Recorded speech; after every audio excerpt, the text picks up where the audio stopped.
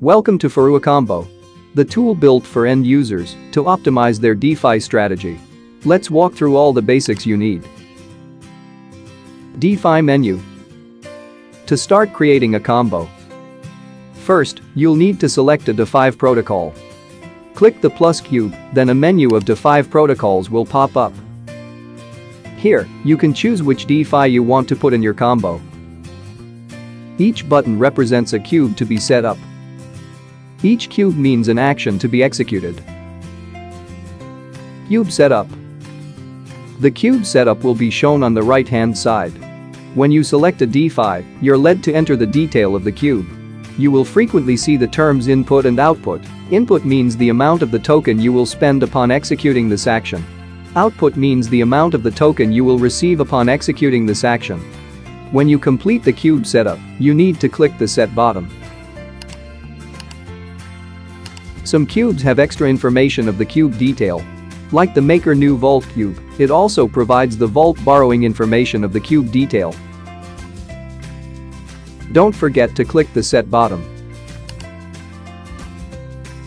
Flash Loan Setup Flash Loan is a special cube. It is more complex than other cubes. When you create Flash Loan, you'll see a pair of two cubes appear. First cube means borrow. And second cube means payback. All cubes you set up are draggable. Simply click and hold the cube, then drag it in the order you wish. The next thing you need to do is adding more cubes using the borrowed funds and drag them in between the flash loan pair cube.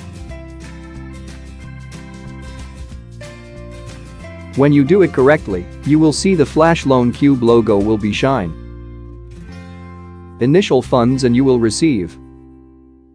You may see a section at the top left called initial funds. It means the funds that you must provide to initiate the transaction. Initial funds are sent directly from your wallet. You must have enough balance of the tokens in your wallet, otherwise the transaction will not be executed. Also, a reminder that this funds does not include gas fee.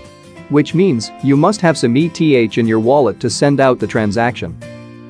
Under Initial Funds, you see a You Will Receive section. These are the funds to be returned back to your wallet at the end of the transaction.